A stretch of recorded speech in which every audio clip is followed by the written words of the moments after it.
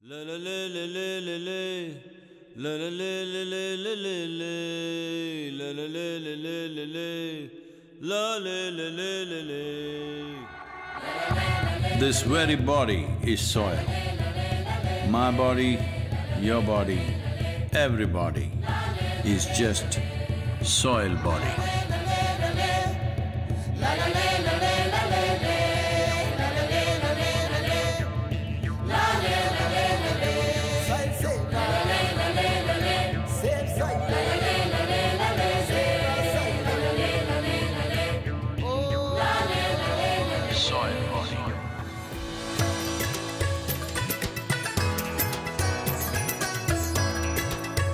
There are exceptional professors here today who have uh, very important information to impart to all of us.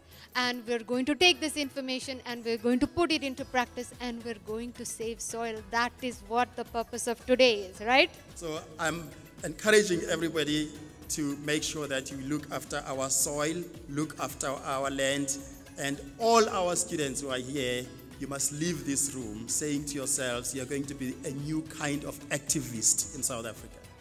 You have that power. You have the ability to actually ensure that our 4 billion year old mother doesn't die. That in terms of our children, we are leaving them with a sustainable future where they have food security.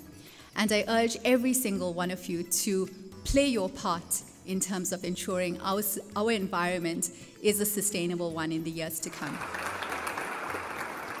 And so I think for sustainability, it's essential that we, we, we realize there are a whole lot of technical interventions we want to do, but we can't do them unless the people who live in those areas see value in, in what we're doing. We can all green up and feed up our families, especially the poor. Millions of hectares will be restored.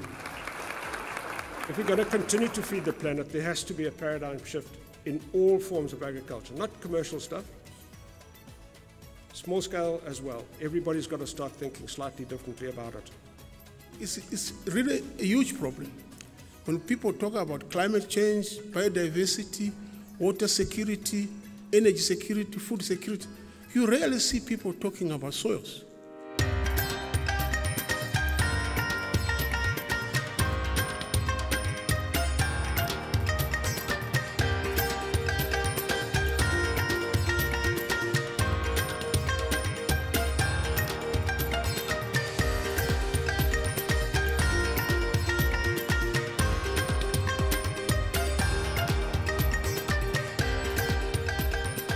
So the reason why we're chosen to exhibit here today is because a lot of the students who study geography and environmental related degrees don't often understand the impact that their degrees have to the future of sustainable environmental management.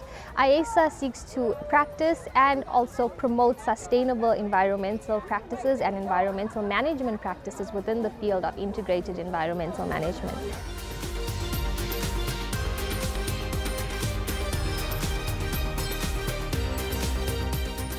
We were taught about soil awareness. I learned a lot about the stuff that you can do as a person, as a, one person, as an individual, the amount of stuff that you can do to save the soil and help the country grow richer.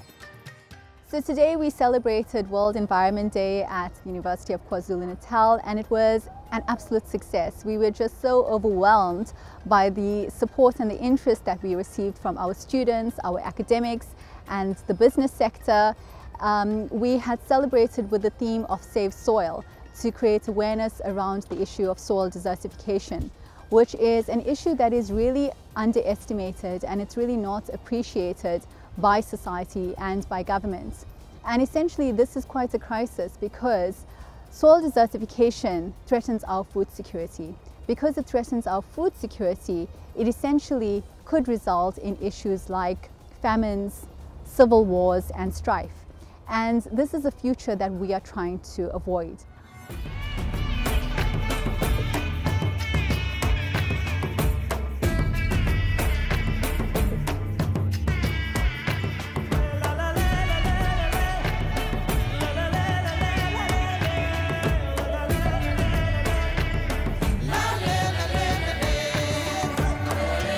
The magic of soil is it turns death into life.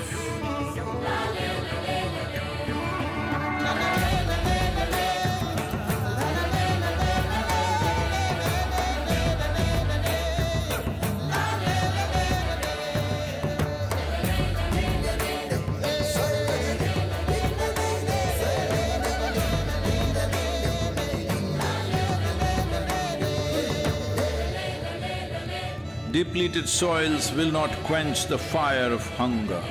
Unquenched hunger can burn the very world. This is a generational responsibility. Save soil, let's make it happen.